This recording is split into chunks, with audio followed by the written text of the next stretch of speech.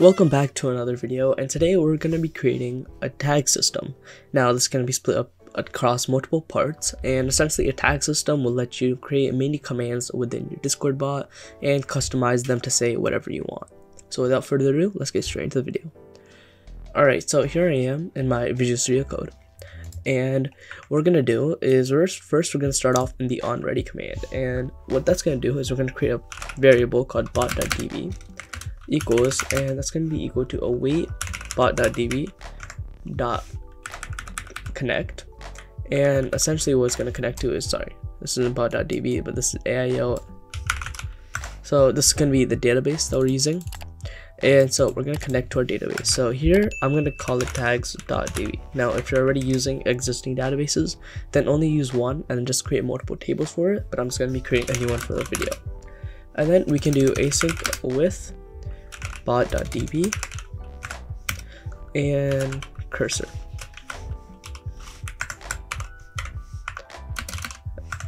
okay so once you have something like this we can actually create the table and so the way it works is when you create the table, it's cursor.execute.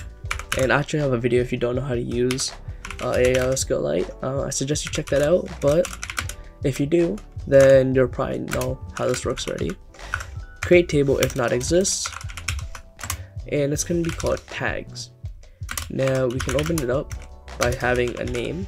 And so this name is going to be in the text format. There's also going to be content which is going to be also text and basically the content of the tag and then the guild integer and then another creator integer simple as that. And so these are all to mean different things. And so this is to be guild specific and you can see whoever made it also. Now what we're to do in a completely separate thing is we're to create a command that actually creates us a tag. Now the way it's to create us a tag is essentially just do bot.command and then for the name of it it's going to be called create tag and then we can even add a description to it, says creates a new tag. And then we can do something like async def create tag and we'll call this add an underscore. And inside here all we're gonna need is ctx and it's gonna be commands.context and then as well as a name which is gonna be a string and we can also do content which is also a string and I forgot but we also need the little asterisk here okay so what this is gonna let us do is this just going to be the basis of our command. Okay, so next up, what we're going to be doing is we're just going to copy this little line of code here. And we're just going to be actually initializing our database now that we have it. We can do await cursor.execute and just remove all of this because we don't really need it. And then we can do select content from tags where guild is equal to question mark and name is equal to question mark and then we can do ctx.guild.id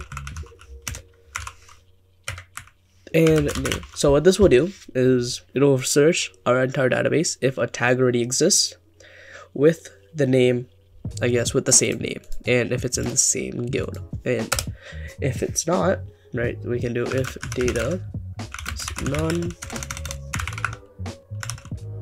and sorry, I forgot to mention our data variable, but our data is just going to be await cursor dot fetch one because there should only be one. So if data is none, that means if that doesn't exist, then what we can do is we can actually create. So you know, wait cursor dot insert into tags, right? So insert into tags, and then we're going to be inserting a couple things. So name, content, guild, right? Of course, but then we're also going to insert the creator and it's going to have values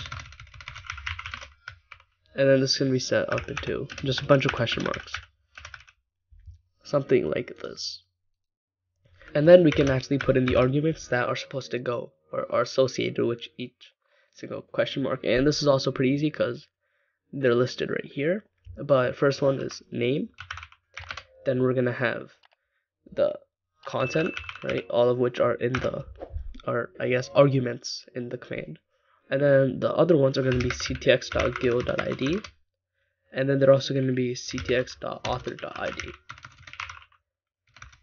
And so these will let us actually define uh, the guild and the author of the of the tag. And so now what we can do is we can just send a message, something like, oh wait, ctx.send tag has been created.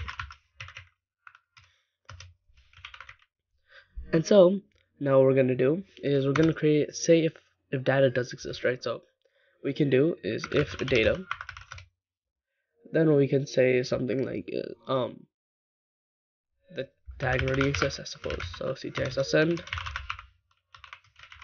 that tag already exists. Simple as that.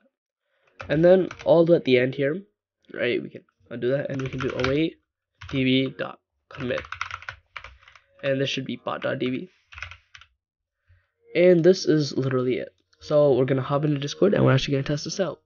Okay, so here I am in my Discord. Uh, say hi to all the Nitro donators and everybody.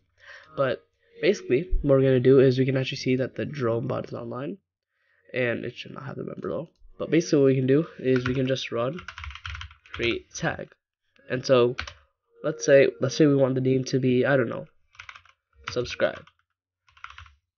And then after this, what we can do is tag content. So I want the contents to be subscribe to Glowstik it says tag has been created. Now obviously we can't see anything but I'll actually see show you a screenshot up on screen of that tag or inside the database what it looks like. And so you should have a similar thing right in there. So if it has this. But now we're going to try creating the same thing again right? Subscribe to Glowstik right? And we'll see if it actually detects that that same tag exists and it does and so that's pretty much it. I really hope you guys enjoyed this video. If you did, be sure to like, subscribe, and uh, till part two comes out, which is probably going to be in a couple of days.